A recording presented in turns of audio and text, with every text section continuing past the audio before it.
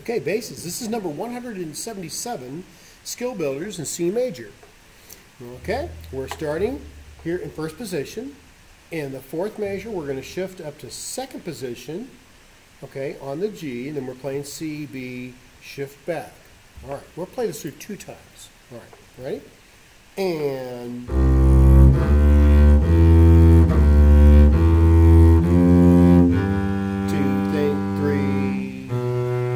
think three.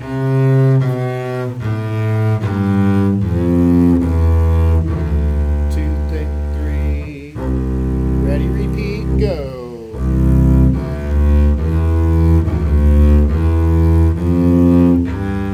Watch a shift. Two, three.